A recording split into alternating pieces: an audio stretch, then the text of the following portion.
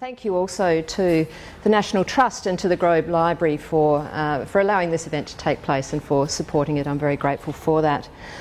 Um, I'd also like to acknowledge the Noongar people, the Whadjuk Noongar people, as the custodians, traditional custodians of this land, and pay my respects to their elders, past, present, and emerging. Um, and I guess I wanted to begin my talk uh, with a bit of reflection on the remarkable achievement of Noongar people in sustaining food production in this place over such a long time. It really is a mind blowingly long time 50,000 years, 60,000 years, we're not quite sure yet. The, the time scale seems to keep growing. Um, but for, for all of those years, there was no backup. They had to know where the food was. They had to know, um, you know, where the hunting was good. They had to be able to maintain that cultivation. Um, and it was cultivation, as Bruce Rose, I mean, um, Bruce Pascoe has demonstrated in his recent book, uh, Dark Emu.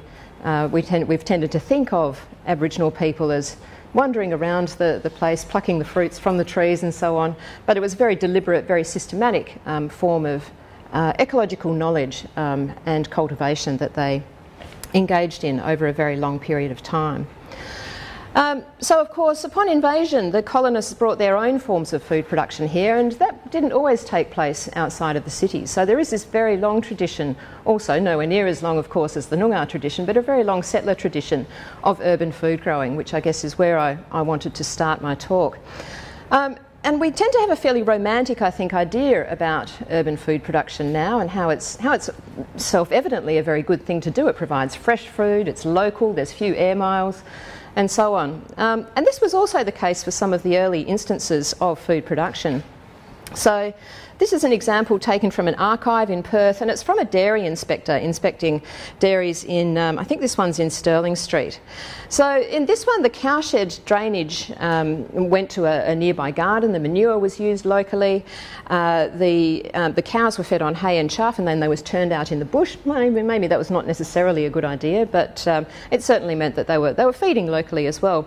And the milk was distributed um, by cart, or I think by hand, as soon as it was produced. So, this was probably a bit of child labour involved there as well. But it was a sort of circular, local, um, happy kind of food production. But it didn't always work like that.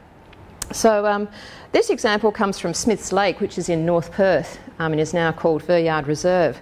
So there's there's this area of swampy ground. It's about 25 acres around the the the, the wetland.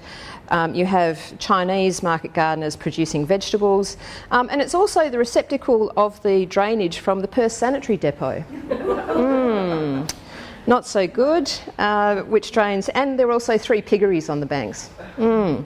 But it gets even better. So the inspector continues his inspection. He walks around, he finds that the fence comes down in various parts, and he finds that herds of dairy cattle from the local dairies are being driven down to the wetland to drink. This is a wetland surrounded by piggeries receiving the drainage from the sanitary depot. So, this was one reason why animals and, uh, well, dairy cows in particular, but also pigs and other forms of uh, and other domestic animals were regulated over time. So we can see in this in this chart here the number of dairy cattle in, decreases from the 1930s. I think it starts decreasing actually in the 1920s. They start regulating to try and move these animals out of the city. The city is seen as incompatible with this kind of food production. And you can see that there were some real risks there um, in an era in which wastes were being disposed of locally, food was being grown in various forms locally. Piggeries, sanitary depot, dairies, not necessarily a recipe for great health. Um, so, uh, of course, rising land values also mean that food is food production is being pushed out of the cities. Um, refrigerated transport makes it more possible to have dairies outside of the urban area and bring the milk in while it's still still fresh. So we see these trends over time of a, of a dec- decline in the number of livestock that are being kept in the urban area. And there's some more detailed trends in there, of course, the expansion of um, um, intensive poultry raising in the 1950s and 60s, but then the urban area grows very rapidly in the post Second World War period, and that pushes that kind of production out. Uh, if we look, turn from um, from the livestock to the vegetables and orchards, we see a, a, slightly different pattern in the expansion of market gardening in the peri-urban area in Perth into the, the, um, the middle of the 20th century, and then again that very rapid decline um, in the 1960s and 70s as these food producing areas are kind of engulfed by the expanding suburbs. So, if we turn then to, uh, to home food production, what can we see? So, why, why were people growing their own food? Um, in my research that looked at this question um, in both Perth and Melbourne from the 1880s to 2000s, I found that there were a range of different reasons. So, people have always been interested in taste. They've always felt or thought that um, home, home produced food tastes better than what you buy from the greengrocer or the supermarket. So, taste has always been uh, an important reason. Uh, likewise, freshness, particularly after they discovered vitamins. There was a belief that vitamins were going to be more present or present in greater quantities in home produced food, which was, the, after all, the freshest food you could possibly get. Um, flavour uh, was also important, um, and perhaps also some unexpected things like masculinity. You can see this, this image here of the man cultivating his backyard with a machine. Um, in this period, we're seeing greater um, urbanisation, of course, but there's more men taking white collar work on. So they're doing jobs that are not, a, not as obviously or conventionally masculine as they were before. They weren't out in the sun digging and hoeing and so on. Um, so doing these kinds of things in the backyard was sort of like being a farmer in miniature, and it was, you know, accruing some of the virtues that were associated with that kind of, of um, you know, outdoor work that involved strength um, and as well as knowledge. Uh, we can see the front of the Yates 1932 garden annual there, and of course, thrift was an important aspect in home food production for a long time. And I was talking to someone just before who was saying, uh, who was it? You, that's right, about the, uh, the $70 carrot and the debate over whether homegrown produce is ever going to be cheaper than what you can buy at a supermarket. And I have to say, this debate has been going on since at least the 1910s um, in gardening magazines. Is it possible to grow food uh, for cheaper than you can um, buy it? Um, well, that wasn't uh, so much the case for people in the Depression, or some people in the Depression, as uh, are we going to have anything to eat or not? It was certainly the case that in the conditions of the Depression, uh, more people took up food production because they, they had few other options or because it was a way of supplementing the family diet uh, when funds were scarce. Um, education has been another important aspect, so we can see again another Yates seed annual conveniently providing an image um, of um, the, the toddler there planting beans. Uh, we often feel as though it's only in fairly recent years that our children uh, have become unable to tell us where food comes from, where milk comes from, what, where peas come from, and so on. But again, these kinds of anxieties have quite a long history. And even in the 1920s, in some gardening magazines, people are worrying about the children not knowing where their food comes from. So, again, this was another reason for, um, for people to establish backyard vegetable gardens and grow their own. Um, and finally, there's sharing. So, particularly in the age before refrigeration, but even afterwards, I think people were interested in having vegetable gardens so they could exchange produce. It was a good kind of excuse to, to share um, unique kinds of gifts with their neighbours, with their friends, with their family, with their close associates, and thereby build those relationships. So it wasn't just like going out spending money and buying something, it was something that you'd taken the time to cultivate yourself. It was a very unique and individual kind of gift and a sort of gift economy um, that people thereby entered into. So we tend to have this idea that before the Second World War everybody grew their own food because they couldn't afford to do otherwise, but that's certainly not the case. Um, we also have this idea that after the Second World War, it was only the Italians, the, um, the southern Europeans, that had come to Australia in the great wave of post Second World War migration. Um, that were able to grow their own food or that were interested in it. But my research found that, in fact, they were just the ones that engaged in it most spectacularly and most controversially. So they're the ones that people remember. If we look at the very admittedly scanty data that we have, still Anglo Australians were very much involved in, um, in growing their own food. They just tended to do it in the backyard, in the privacy of their backyard, which was how proper Australians did it, rather than in the, the, the, the flamboyance of the front yard, as some of the um, the migrants from rural southern Italy did. It's also worth bearing in mind, of course, that there were plenty of migrants from urban areas in, um, in southern Europe that weren't at all interested in this kind of suburban agriculture. so, um, unfortunately, the Australian Bureau of Statistics didn't see fit to um, do this kind of survey every year, so we only have a few pinpoints of more accurate information on people growing their own food in backyards. But in 1992, they did a survey and they found that private households in Perth produced 5,300 tonnes of vegetables, about 5,000 tonnes of fruit, over a million dozen eggs, and 65 tonnes of nuts. So, you know, we tend to think of cities as being sites of consumption, not of production, but it's never, that's never entirely been the case. There's always been production maintained in our urban areas. It's just tended to be a bit invisible um, over time, a bit distributed. I think it, it has declined. Uh, but people have remained interested in, in growing food, they just tend to grow less of it these days. Um, yeah. So moving on then, but our, our food systems have, um, have changed. Um, now there's about 10 companies worldwide that dominate global food production and retail, and these companies turn over a billion dollars a day. And of course, these and other agro food companies have been or are involved in land grabs, in exploitation of the poor, and land clearing on a massive scale. And if they were a single country, they'd be ranked 25th in the world for greenhouse gas emissions. So this is not insignificant in this sector. Um, and some of the global outcomes of this very, um, you know, detached on the one hand and concentrated on the other agro food system include undernourishment and obesity. The, the long um, sort of supply chains that they involve also make our food systems very vulnerable. And we see this, for example, in the floods in Brisbane in 2011, um, where unfortunately the Rocklea food, the central Rocklea food market, um, was built on the floodplain of the Brisbane River. That didn't go so well when the river flooded, so the market was underwater. Fresh produce wasn't was a lot of it was destroyed and couldn't be distributed for for several weeks. But um, but also more broadly, some of the supply chains were disrupted. Um, trucks weren't able to get through to certain areas. People started panic buying, and the supermarket shelves started emptying very quickly.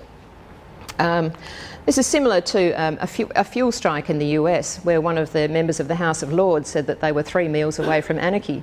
Because, again, without fuel, the food couldn't be trucked around, people couldn't get, you know, supermarket shelves were emptying, people couldn't um, get food distributed through those usual lengthy um, kinds of channels. And then we have the more slow burn crises, um, for example, of suburban encroachment onto peri urban food production areas and this is, of course, a very, um, a very big issue. Still, even, um, say, Melbourne, 40% of its produce is produced in the area around Melbourne, and they're now having to ask themselves questions about whether or how to protect that land, where that food is going to be grown, if they allow the urban area to keep expanding onto their food bowl.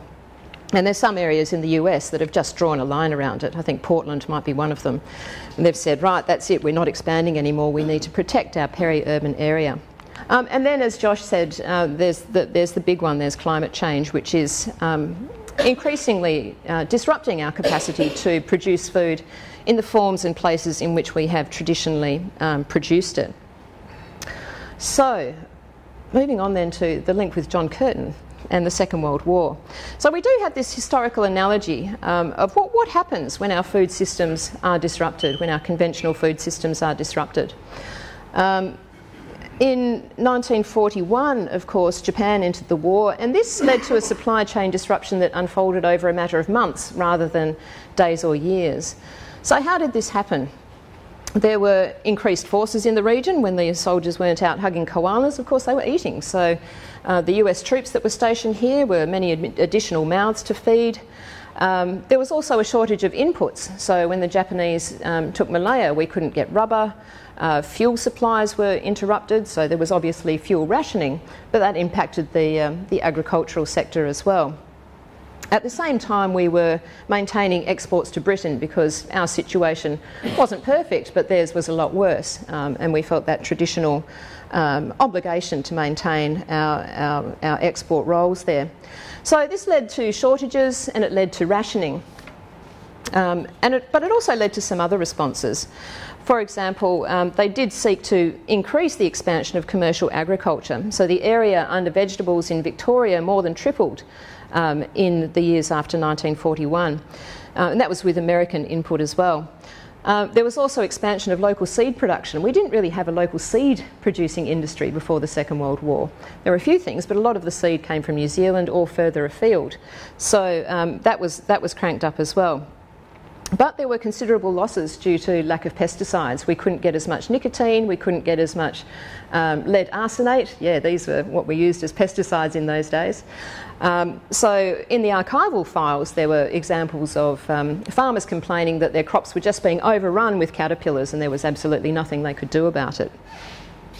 So, this being the case, um, in 1942, um, the federal government said that they were declaring a, um, or, or that state governments, the, at the behest of the federal government, would declare a Dig for Victory campaign um, that would encourage householders to grow their own vegetables, keep their own hens, in order to fill the gap between what the commercial uh, food suppliers were able to produce and what people needed um, for good health. So this is a um, the announcement in January of 1942 from the Adelaide Advertiser. But very quickly, this plan ran into problems. So in Brisbane, the very next day, they're complaining that, well, that's all well and good, but there's no water. The 1940s were quite dry. It was a quite dry decade. There were quite a few droughts in, uh, in that time, so that was, uh, that was a difficulty. And that's from Brisbane. Um, in Adelaide, um, there was a lack of enthusiasm. I think this, this article talks about the, uh, the Premier starting his Dig for Victory campaign all on his little own. But they didn't. The writer, uh, the writer's view is that it would be taken up very, um, very vigorously.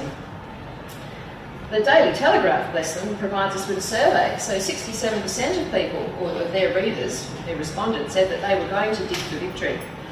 Uh, but it was interesting, this particular survey, because it, it said that the vegetable growing was dominated by upper to middle class income homes. Uh, the poorer households didn't have sufficient land, uh, or the women were too busy looking after children, or they were in uh, munitions factories earning money, so they just didn't have the time. So there's these three factors, you know, or two factors land and time. Some people also complained that they didn't have the expertise, um, so that was an issue, and others were concerned that they, um, uh, they, they, weren't able to get fertilisers or because of water restrictions, this was going to be too difficult. So already we see some of these difficulties. But we also see um, a, a, kind of grassroots response occurring, and some of this was led by the YWCA, the Young Women's Christian Association, and they launched a Garden Army campaign in 1942, whereby uh, women who were who had some available time, either after work or on weekends, uh, got together and cultivated land that was available, um, either private land, household land, or land that was um, local government land and so on, institutional land as well. They got together and, and made these victory gardens and then they would sell the produce uh, and the funds would go to the Red Cross or various, the War Comforts Fund or various other kinds of war endeavours. Um, I think they also uh, roped in scouts and guides to help with harvesting, so some of the other sort of civic organisations around at the time kind of mobilised behind this, this effort. Um, here's an example from Perth, uh, from Claremont in fact, so a, a very local one where we have some members of the YWCA acting on the Prime Minister's advice of using every vacant foot of land for the growing of vegetables. Uh, but they intend clearing what was bush last week into a vegetable garden, so it wasn't just unused, uncultivated land, unfortunately, but a bit of bush clearing as well going on in order to grow food. Um, Okay, so this then leads to the, the advent of the 1943 Grow Your Own campaign. And I, I didn't find actually evident, much evidence of the 1942 declaration in the archives.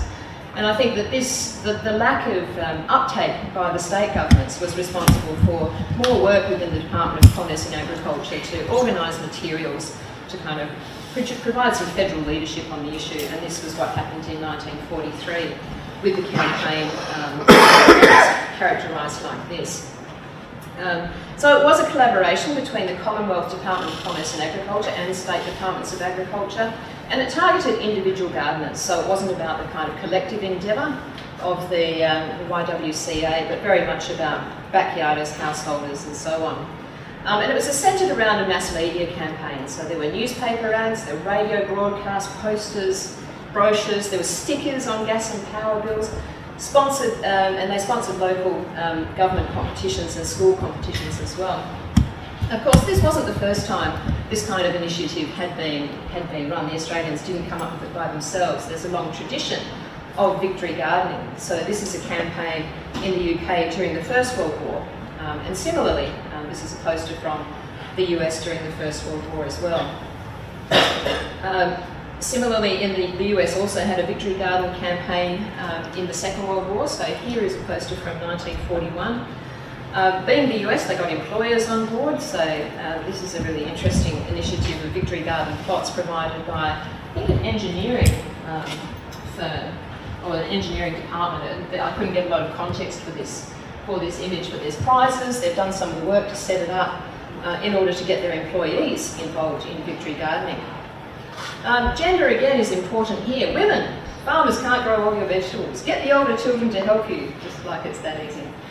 Um, because of course many of the men were, uh, were either manpowered into various occupations or they were um, serving overseas, so much of this work um, came down to, to women's work when they were able, although still some of their propaganda was quite uh, male oriented. This is one of my favourite all-time images of um, wartime gardening. This is a bomb crater in the grounds of Westminster Cathedral that has been turned from um, you know, a, a, kind of symbol of the, the horror, devastation and destruction of war into new life and productivity and beauty. Um, so I think it's a, it's a nice symbol of what people were potentially trying to achieve, at least some of them. Um, others, of course, were just out to kill and protect their victory garden from the evil bugs. Uh, and so we return to the, uh, the Italian style propaganda, which again is drawing on that iconic imagery of the, the white farmer um, producing food. So what then was the net effect of all of this, um, of all of this propaganda during the wartime? It's actually very difficult to say uh, because nobody's, particularly in a wartime context, nobody's going around keeping very good records of what is going on um, in terms of food production. Um, allotments are a little bit easier. The UK has a long-standing system of uh, local allotment gardens. They were first taken up by workers in industrial towns as a way of supplementing their, their diet and they expanded very rapidly during the Second World War um, for this victory garden type purpose. And of course they do have paperwork and registration. So it's possible to say that there were 819,000 of them in the UK before the war and in 1943 that had doubled. So there was very much an uptake of, um, of allotment gardening. Somebody's had a stab in the dark that the number of private vegetable gardens increased from 3 million to 5 million. Um, in the US, it's even, even more of a stab in the dark. Uh, and in Australia, it's, it's really impossible to tell because we didn't have these formalised systems of allotment gardening. We certainly have um, sort of pictorial and other forms of evidence that people were out there hard at it, digging up their, their schoolyards, their churchyards, their backyards, their front yards even um, in these kinds of images from the, um, the Australian War Memorial. So these are parishioners at a Melbourne church, um, and these, this is a, a YWCA garment, garden army in Brighton. Uh, in, not Brighton in Melbourne. Not Brighton in, um, in the UK. So what then can we, can we learn from this? Well, these events um, that reduce access to food supply are also likely to reduce access to the kinds of materials um, that are needed to grow food. So, as I've said, in World War II there were shortages of rubber, pesticides, seeds, and fertilisers. But there were also shortages of know how. So, in that survey from the Daily Telegraph that I put up, before. People, people said that, oh, well, I couldn't grow vegetables because I wouldn't, I wouldn't know the first thing about how to do it. Um, and the Australian government, the federal government, was well aware of this, and so they included ads like this one. You know, help your neighbour get the best out of his garden. Um, if you know how to do it, then help someone else to do it as well. Um, so that that kind of flags that um, uh, capacity for food production, and particularly for increasing food production rapidly, must be must be planned for and it must be built up. Um, Gardeners uh, then also had better access to animals for manure. So we saw earlier that the number of animals in the urban areas decreased um, through, this, through this period. Uh, but at this time, there were still horses and carts doing deliveries of various things, and I spoke to some people who said that they would wait by the gate for the horse to come by so they could go out with a shovel and collect the manure for their garden. Um, but during the Second World War in London, they were scraping the pigeon manure off the buildings to, um, to get enough nutrients to grow their vegetables. So, this is the kind of thing that we don't tend to think about. If it's not available from Bunnings, where, where are your nutrients going to come from? Um, so yes, resilient food gardens need to plan for sourcing inputs locally and for closing, closing, closing that loop.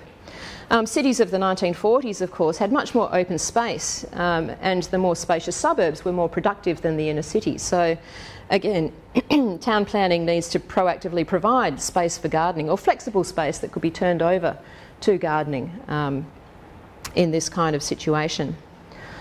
Um, and these um, uh, so, okay, so this kind of top down campaign was successful insofar as home production was increased, home food production was increased. So nobody starved, malnourishment was staved off, and indeed many people found satisfaction and respite in gardening uh, during a stressful time. It's also useful to reflect on in the present because it shows us what might be possible and what might be necessary to make our cities more self sustaining in food. We need appropriate space, we need expertise, we need the various kinds of garden inputs. So we need to ensure, I think, that we retain this kind of um, capacity. But the war also gives us an opportunity to reflect on the social and political significance of urban food growing. I'd argue that food production is never just about food, it's never just about getting something to eat. It's always enacted as part of bigger stories stories about community, about resistance to modernity, about the freedom of global capital, perhaps. So these top down food growing campaigns were about producing food, but they were also about producing a particular kind of citizen. So this citizen was patriotic, the citizen was thrifty, industrious, and responsible. And there were particular roles for men, for men and women, as we see in this, um, this uh, poster here. Although, of course, these roles were often challenged in practice. So these, this campaign targeted individual self interest as well as a sense of patriotic duty to the nation. Many of those who grew their own food or dug for victory during war found that gardening provided respite and solace at a stressful time. And many of those who voluntarily joined the garden armies or other collective endeavours found fun and friendship. But for many, the campaign and their response signified compulsion and hardship and was experienced as sacrifice rather than satisfaction. And after the war, food production did decline, home food production did at least individual interests changed, and without an imminent threat, these other interests could be pursued.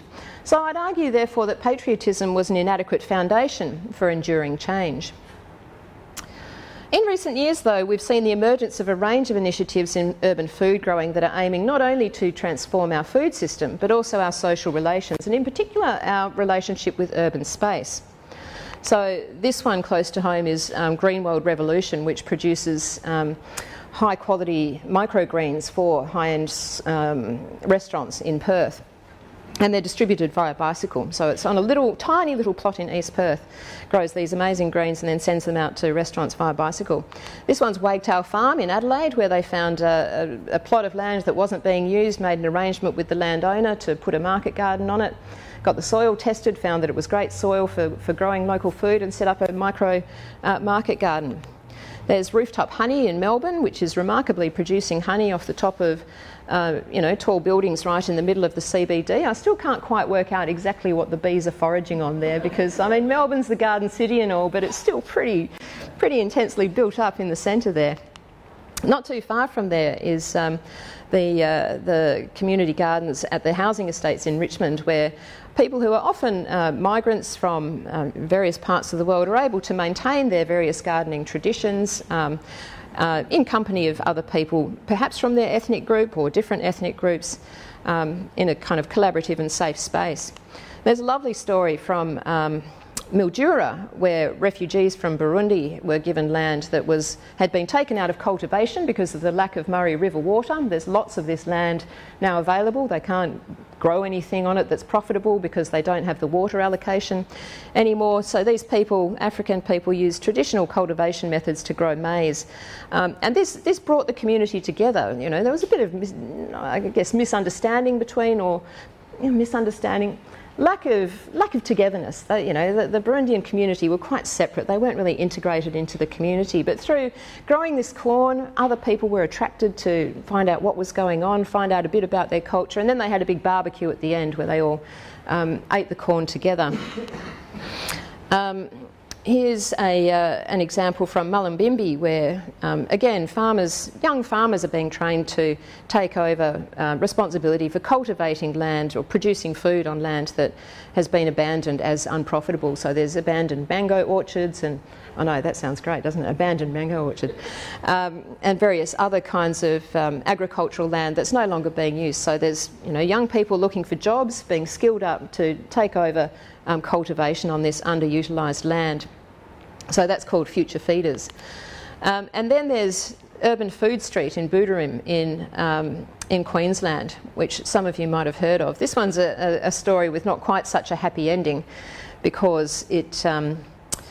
Uh, essentially, it was a, a, quite regressive local government decided to cut down fruit trees that had been established and as a means of bringing the community together. So, again, this was a project that wasn't really about food um, Duncan and Caroline Kemp just planted some fruit trees on their verge just to see if it would start conversations and start connections among the local community. And this worked very well until the local council decided that you needed permits and insurance and, um, yeah, decided to put more structure around it, which seemed counter to the kind of spontaneous nature of, um, of this initiative. So bit of a plug for my book there. I talk about some of these in that book that Josh mentioned that I've um, recently edited with Nick Rose, These and Other Stories. Um, so these kinds of initiatives that I've just been talking about are all based on the promulgation of different values to the wartime campaign. So these are about values of inclusivity, cooperation and generosity. And I think food is powerful as a common basic need that we all share. Rich or poor, white or black, we all need to eat. Yet, as I've sort of touched lightly on today, our food systems have been increasingly privatised, as have our urban spaces, with poor outcomes for health and environment and community. So these initiatives are about reclaiming an urban commons, and in doing so, moving from an era of ecocide on the one hand and competition and exclusion within human societies on the other, to an age of mutually beneficial social and ecological relationships. And a central concept here is the commons and commoning. So each town and city used to have urban commons on which people would gather wood, graze their house cow, hold public festivals and events, and so on. And there was a, there was a big commons in Fremantle, which uh, was retained for quite some time. I'd love to do more research on the Fremantle Commons um, and its fate. But over time, however, these were alienated and sold, or they were used for more restricted municipal purposes. I know that the Fremantle one was site of the sanitary depot as well for a while. This urban transformation is symbolic of a more general trend towards privatisation, whether, whether through capitalist colonisation of the life world or states selling off public assets. So while urban development has wiped away the possibility of restoring large urban commons in many places, Katherine Gibson argues that commoning is best understood as a verb. It embodies a constellation of practice that's reflective of particular values and social relations, and those values again being inclusivity, cooperation and generosity. And that's what these new initiatives are at heart about. As such, they build not so much on the forced productivity of the Second World War garden, but the long tradition of sharing homegrown produce, exchanges with neighbours before that era of refrigeration, the gifting of eggs to friends and fruit to extended family. They perhaps also build on the resistance to capitalist industrialised food systems that drove the whole countercultural food production and self sufficiency, the sort of back to the land movement from the 1970s. It's a tall order and there's no right way to go about this, but at the grassroots level, there's lots of these kinds of initiatives providing hope that things can be different. So, returning then to the title of my talk, is it time to resurrect the wartime Grow Your Own campaign? Well, yes and no. In recent years, several people concerned about the growing climate crisis are proposing that our only hope is to mobilise like we did in World War II. So Bill McKibben has even said that it's not that global warming is like a world war, it is a world war. And as a result, he's proposed a massive top down program of construction of renewable energy um, technology factories to churn out solar panels and wind turbines on an unprecedented scale. Others have pointed out that some of the talk of a World War II style mobilisation of the population is romanticised. It presents a story of collective everyday heroism while leaving out the restrictions on free speech, the violent race riots, the imprisonment of enemy aliens, and the birth of the military industrial complex. There are also important differences between climate breakdown and World War II. There's the lack of a clearly defined and agreed upon enemy, there's a range of competing agendas, and also there's the scale of the problem. Finally, critics have pointed out that the problem is not just carbon dioxide in the atmosphere, but how and whether human beings can live sustainably together on this planet. And it's here, I think, that a new urban food campaign could make the greatest difference. So, thank you very much for listening. Thank you to the image providers.